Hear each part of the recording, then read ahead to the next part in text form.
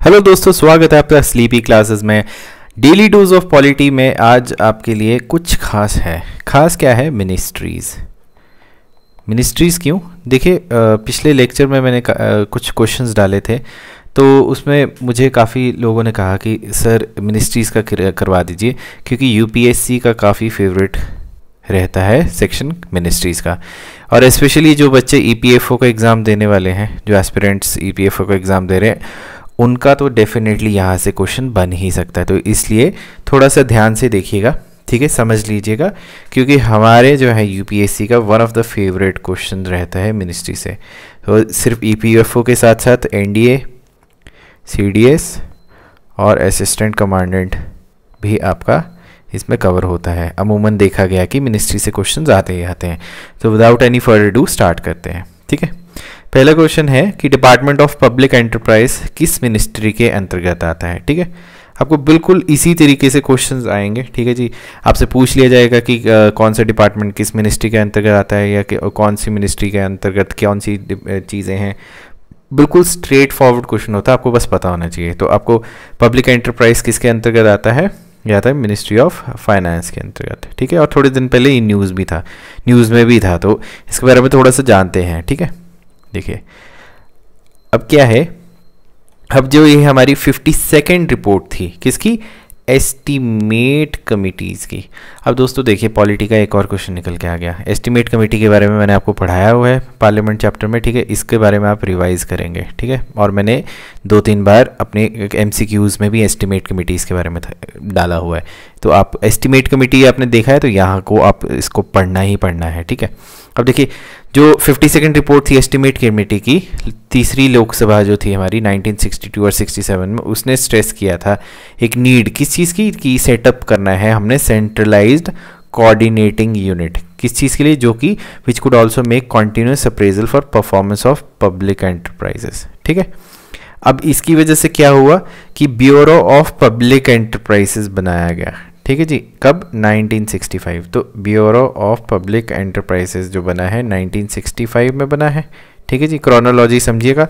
और ये किसके अंतर्गत आया था? Ministry of finance. सब्सिक्वेंटली क्या हुआ कि इसकी रीऑर्गेनाइजेशन हुई मिनिस्ट्रीज के डिपार्टमेंट्स की गवर्नमेंट ऑफ़ इंडिया के अंतर्गत।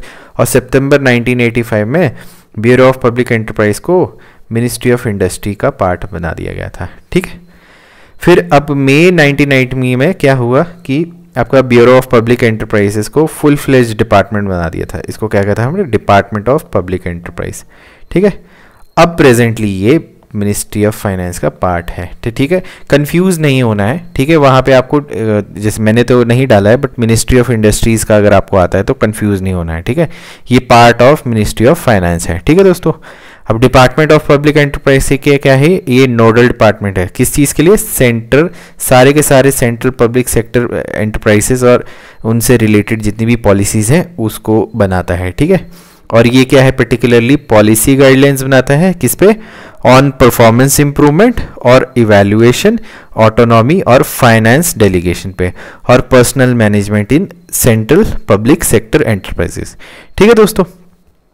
अगले क्वेश्चन पे आते हैं। अब department of investment and public asset management is nodal agency under ministry of तो ये आपके ऑप्शन है, ठीक है?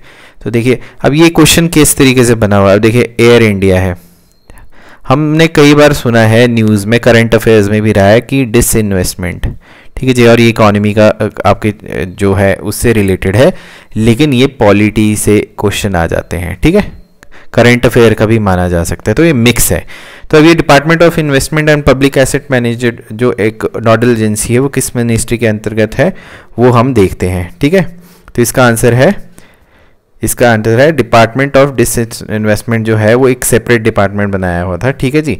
और मिनिस्ट्री ऑफ़ डिसमेंटमेंट सिक्स सितंबर 2001 में बनाया गया था। ठीक है? अब 27 मई 2004 को डिपार्टमेंट ऑफ़ डिस इन्वेस्टमेंट जो है, उसको department of ministry of finance के अंतर्गत डाल दिया गया था। ठीक है?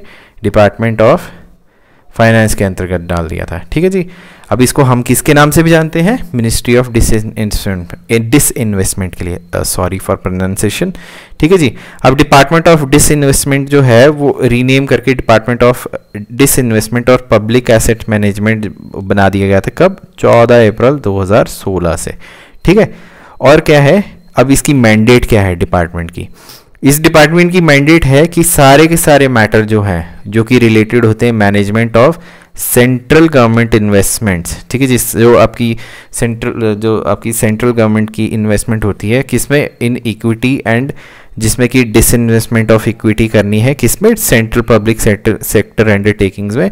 उसके मैटर्स पे इसका काफ़ी ज़्यादा रोल रहता है इसका। ठीक है जी, और सारे के सारे मैटर्स जो हैं जो कि रिलेटेड होते हैं sale of central government equity जिसके लिए थ्रू ऑफ़र फॉर सेल और प्राइवेट प्लेसमेंट होती है, ठीक है जी?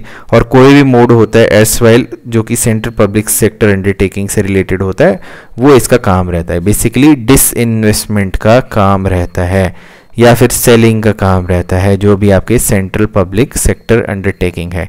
ठीक है दोस्तों? ये आपका पॉलिटी से भी क्वेश्चन है करंट अफेयर से भी क्वेश्चन है और इकोनॉमी से भी क्वेश्चन है। तो ये इसकी प्राथमिकता और इम्पोर्टेंस बढ़ जाती है। ठीक है? नेक्स्ट क्वेश्चन पे आते हैं।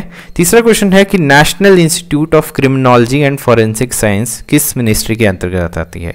अच्छा जब मैं आपके ये बना रहा था क्वेश्चंस ठीक है तो मुझे भी काफ़ी चीज़ें सीखने को मिली, ठीक है?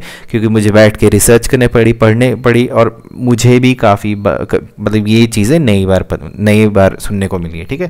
तो अब देखिए अब अब अमूमन, मुझे इसका पता नहीं था तो आप अगर इस पर थोड़ा सा अगर दिमाग लगाएँगे तो आप मोस्टली जो हैं, जिन्होंने नहीं पढ़ा, वो बोलेंगे, सर, क्रिमिनोलॉजी तो क्राइम से रिलेटेड है, फॉरेंसिक साइंस से रिलेटेड है। तो सर, ये तो मिनिस्ट्री ऑफ़ लॉ से होना चाहिए। लेकिन नहीं, ये मिनिस्ट्री ऑफ़ होम अफेयर से रिलेटेड है। ये भी नहीं, ये भी नहीं, और ये तो है ही नहीं। ठीक है? अब ये है क्या national institute of criminology and forensic science? ठीक है? अब बेसिकली क्या है? ये है Lok Nayak Jayaprakash Narayan national institute of criminology and forensic science जिसको कॉमनली हम national institute of criminology and forensic sciences के नाम से जानते हैं। और ये क्या है? एक सेंट्रल इंस्टीट्यूट है, जो कि क्रिमिनोलॉजी और फॉरेंसिक साइंसेज के बारे में पढ़ाता है। और इसका कहाँ पे ये? ये न्यू दिल्ली पे बेस्ड है, ठीक है? अब ये इंस्टीट्यूट जो है, ये गवर्नमेंट ऑफ़ इंडिया ने बनाया था कब? 1972 में। किसके अंतर्गत? Within the bureau of police research and development. जिस और वो रिकमेंडेशन दी थी यूनिवर्सिटी ग्रांट कमीशन ने कि आपको ये बनाना चाहिए। तो 1972 में बनाया गया था। ठीक है दोस्तों? अब इंस्टीट्यूट को फॉर्मली हम किसके नाम से जानते थे? Institute of criminology and forensic science और ये 4 जनवरी 1972 को बना है। ठीक है? अब इंस्टीट्यूट ने तकरीबन 41,000 ऑफिसर्स जो हैं चाहे वो पुलिस से हैं जुडिशरी से हैं प्रिजन से हैं प्रोसिक्यूशन से हैं डिफेंस से हैं कस्टम से हैं फॉरेस्ट से हैं मेडिकल से हैं पब्लिक सेक्टर अंडरटेकिंग से हैं नेशनलाइज बैंक से हैं या फिर साइंटिस्ट हैं जो कि सेंट्रल और स्टेट फॉरेंसिक साइंसेज से हैं इनको ट्रेन किया है तो इसकी कितना ज़्यादा इसका ज़्यादा महत्वता है हमारी वो इसलिए कि देखिए ऑलमोस्ट सारी आपकी जो इंपॉर्टेंट ऑर्गन्स हैं, ठीक है जी? पुलिस हो गया फॉरेस्ट हो गया मेडिकल जितनी भी हैं, वो इसके अंतर्गत कवर होती हैं। तो आप समझ सकते हैं कि इस इंस्टीट्यूशन की कितनी ज़्यादा इम्पोर्टेंस है, ठीक है? और ये किसके? मिनिस्ट्री ऑफ़ होम अफेयर्स के अंतर्गत आता है, ठीक है जी? वो उसके अंतर्गत रहता है, ठीक है? लॉ मिनिस्ट्री के अंतर्गत नहीं है, ठीक है? और इसको हमने Indian independence activist Jayaprakash Narayan के नाम जी के जो थे हमारे उनके नाम पे री, रीनेम कर दिया था कब? 2003 में। ठीक है जी? लोक नायक उनका नाम है जयप्रकाश नारायण। अब आप इसको एज ए हिस्ट्री का भी क्वेश्चन ले सकते हैं। ठीक है? हर एक्सप्लेनेशन में आपको कुछ ना कुछ क्यूज मिलते ही रहते हैं। ठीक है? चलिए अगले क्वेश्चन पे आते हैं। अगला क्वेश्चन है department for promotion of industry and internal trade DPIIT एक पेरेंट ऑर्गन है, किसके मिनिस्ट्री के अंतर्गत? Ministry of commerce and industries home ministry prime minister office none of the above तो आपको पता है कि इंडस्ट्रीज़ का आया है तो यही होगा, ठीक है? तो आगे देखते हैं इसकी एक्सप्लेनेशन ठीक है? देखिए अब department for promotion of industry and internal trade DPIIT जो है, वो 1995 में बनाया गया था और इसको फिर से रिकॉन्स्टिट्यूट किया गया था 2000 में, ठीक है जी? और उसको मर्ज कर दिया था किसके साथ? डिपार्टमेंट ऑफ़ इंडस्ट्रियल डेवलपमेंट के साथ, ठीक है? अब अर्लियर क्या होता था? सेपरेट मिनिस्ट्री होती थी। किसकी? अब पहले होती थी ministry of small scale industry होती थी, फिर एग्रो एंड रूरल इंडस्ट्री होती थी और फिर हैवी इंडस्ट्री और पब्लिक एंटरप्राइजेज होते थे, ठीक है जो? ये 1999 में थे। फिर क्या हुआ कि डिपार्टमेंट जो है अर्लियर इसको क्या कहते थे? Department of industrial policy and promotion जिसको हमने डीपीआईआईटी का नाम दिया था 2019 में तो बड़ा ही रीसेंट है। ठीक है? अब 2018 में इससे क्या है कि मैटर्स जो है हमारे ई कॉमर्स से रिलेटेड मैटर्स हैं, वो ट्रांसफ़र कर दिए गए थे। किस पे? To the department and in 2019 में डिपार्टमेंट को चार्ज दे दिया गया था। किस चीज़ के लिए? Matters related to internal trade ठीक है जी ट्रेड से रिलेटेड वेलफेयर ऑफ़ ट्रेड जो आपके व्यापारियों के वेलफेयर से रिलेटेड है और उनके एम्प्लॉयज़ और स्टार्टअप से हैं। ठीक है दोस्तों, अब रोल ऑफ़ डीपीआईआईटी का क्या है? ये बेसिकली प्रमोट करता है एक्सेलरेट करता है किसको? इंडस्ट्रियल डेवलपमेंट कंट्री की जो हमारी आपकी आपकी इंडस्ट्रियल डेवलपमेंट उसको बढ़ाना है और फैसिलिटेट करता है investment in new and upcoming technology और ये F D I foreign direct investment पे भी काफ़ी ज़्यादा फोकस करता है और ये सपोर्ट करता है balance development of the industry मतलब कि सारी इंडस्ट्रीज़ को ऊपर उठाया जाए। ठीक है दोस्तों? चलिए, आगे चलते हैं। पांचवा क्वेश्चन है कि department of food and public distribution किस मिनिस्ट्री के अंतर्गत आता है? तो इसका तो आपको पता चल ही गया होगा। ठीक है? बड़ा ही ईजी है। Consumer affairs food and public distribution के अंतर्गत आता है, ठीक है? दोस्तों, इस, ऐसे इस टाइप के क्वेश्चंस की बहुत हाई प्रोबेबिलिटीज़ हैं। सिर्फ़ इसके नहीं, ये पाँच के पाँच जो क्वेश्चंस कराए हैं, इसकी बहुत हाई प्रोबेबिलिटीज़ हैं कि मिनिस्ट्री से क्वेश्चंस पूछे जाते हैं कि जब मैं अपने टाइम पे एग्ज़ाम्स दे रहा था दोस्तों it was a very high probability that these sort of questions use to come तो you need to read and revise ठीक है? चलिए, अब देखते हैं ये क्या है। देखिए हमारा जो प्राइमरी पॉलिसी ऑब्जेक्टिव है, ठीक है जी, वो क्या है, किसकी? Department of food and public distribution उसका क्या है कि तो इंश्योर करना है फ़ूड सिक्योरिटी ठीक है जी? फॉर द कंट्री किस तरीके से? टाइमली एंड एफिशिएंट प्रोक्योरमेंट लानी है और डिस्ट्रीब्यूशन करनी है फ़ूड ग्रेन्स की।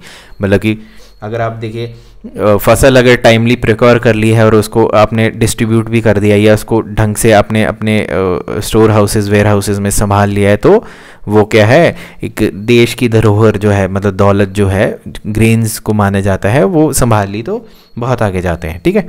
अब इसमें क्या है? This involve procurement of various food grains ठीक है जी? Building up and maintenance of food stocks ठीक है जी? उनकी स्टोरेज कैसे करनी है मूवमेंट कैसे करनी है डिलीवरी कैसे होनी है, और डिस्ट्रीब्यूटिंग एजेंसीज कौन होंगे आड़ती कौन होते हैं मॉनिटरिंग कैसे करनी है प्रोडक्शन की, ठीक है जी? स्टॉक और प्राइस लेवल जो है फ़ूड ग्रेन का, वो कैसे कैसे करना है, वो इसी डिपार्टमेंट के अंतर्गत होता है। अब फोकस क्या है इसका? बेसिकली कि इंसेंटिवाइज करना है फार्मर्स को। किस तरीके से? कि उनको फेयर वैल्यू देनी है उनके प्रोड्यूस की, ठीक है जी? किस तरीके से हमारे पास मिनिमम सपोर्ट प्राइस मैकेनिज्म है? ठीक है जी। फिर डिस्ट्रीब्यूशन ऑफ़ फ़ूड ग्रेन्स जो है वो बीपीएल के लिए, जो फैमिलीज़ के लिए वो है। ठीक है जी। और पुअर हाउस होल्ड्स को हमने कवर करना है ताकि वो रिस्क मतलब भूखमरी से मारना जाए। किसके अंतर्गत? अंत्योदय अन्न योजना। अब ये जो मैं चीज़ें बोल रहा हूँ आप देख रहे हैं तो पेन एंड पेपर मैं बोलता हूँ। हर मेरे लेक्चर में पेन एंड पेपर प्लीज़ लेके रखिए, लिखिए और इसके बारे में प्लीज़ रिसर्च करिए। दोस्तों बहुत बड़ा समंदर है और मैं सिर्फ़ एक छोटा सा मग देता हूँ आपको, ठीक है? ये this is a very big समंदर ऑफ़ नॉलेज मैं छोटा सा मग देता हूँ बट मेक श्योर कि आप बाकी चीज़ें जो समंदर में देख रहे हो यहाँ पे मग के थ्रू उसको भी रिसर्च करें, ठीक है? तभी आपके एग्ज़ाम्स निकलेंगे। अगर हमारे भरोसे ही सिर्फ़ आप बैठे रहेंगे तो this will be very tough ठीक है? अब इसके साथ साथ क्या है कि इस्टेब्लिश करते हैं कि ग्रीन बैंक्स एस्टैब्लिश करने हैं, कहाँ पे? जहाँ पे फूड्स स्कार्स एरिया हैं और पंचायती राज इंस्टीट्यूशंस को जो है पीडीएस सिस्टम में लगाना है। ठीक है जी? पंचायती राज इंस्टीट्यूशन जो आपके थ्री टायर सिस्टम है। ठीक है जी? अब इसके साथ साथ आपका होमवर्क है। होमवर्क क्या है कि सेवेंटी थर्ड और सेवेंटी फोर्थ अमेंडमेंट एक्ट के बारे में पढ़िए, साथ में वो कमिटीज़ कौन सी थी वो उसको पढ़िए। बेसिकली आपको जहाँ से क्लूज़ मिलते हैं, आप वहाँ से उसको पढ़िए। ठीक है जी? और डिपार्टमेंट जो है, वो और भी किस चीज़ के लिए रिस्पॉन्सिबल है? ये पॉलिसीज़ को फॉर्मुलेट करता है ताकि जो कि शुगर सेक्टर है हमारा, उसको कैसे कंट्रोल करना है। किस तरीके से कि उसका जो fixing of fair and remunerative price जो है, वो करना है ऑफ़ शुगर केन जो कि पेबल एट शुगर फैक्ट्रीज होगा, ठीक है जी? हमारे कंट्री में शुगर प्रोडक्शन चलिए आपसे जोग्राफी का एक क्वेश्चन पूछता हूँ कि कौन से स्टेट की सबसे ज़्यादा हाईएस्ट शुगर प्रोडक्शन है? ठीक है जी? और सबसे ज़्यादा बनाना कौन सा स्टेट वो प्रोड्यूस करता है और सबसे ज़्यादा कॉफ़ी कौन प्रोड्यूस करता है? कल के लेक्चर में मैंने आपसे क्वेश्चंस पूछे थे तो आपने धड़ाधड़ कमेंट सेक्शन में आंसर्स दिए थे तो I really like your spirit ठीक है जी? तो अब ये शुगर फैक्ट्रीज़ की जो आपकी क्या है रेगुलेशन भी करते हैं और शुगर इंडस्ट्री जो है, जिसमें कि ट्रेनिंग देनी है शुगर टेक्नोलॉजी की या फिर regulation of free sale sugar है, उस पर भी है, क्योंकि एक शुगर एक बहुत बड़ा मार्केट है। ठीक है? अब डिपार्टमेंट जो है और की भी फॉर्मुलेट करता है policies on export and import on food grains sugar and edibles oil ठीक है जी? तो ये सब इस डिपार्टमेंट के अंतर्गत है। तो आई होप दोस्तों आपको थोड़ा सा आइडिया मिल गया होगा कि किस टाइप से मिनिस्ट्रीज आपसे क्वेश्चन पूछे जा सकते हैं। थोड़ा सा जाके गूगल कर लीजिएगा हमारी कितनी मिनिस्ट्रीज़ हैं, ठीक है? और कमेंट सेक्शन में मुझे बताइए हमारी टोटल कितनी मिनिस्ट्रीज़ हैं, ठीक है? तो अभी इसी के लिए इसी के साथ डेली डोज ऑफ़ पॉलिटी का हुआ ख़त्म। आज के लेक्चर ठीक है? आ, मिलते हैं आपसे अगले लेक्चर में। पढ़ते रहिए रिवाइज करते रहिए। शबा खैर टेक केयर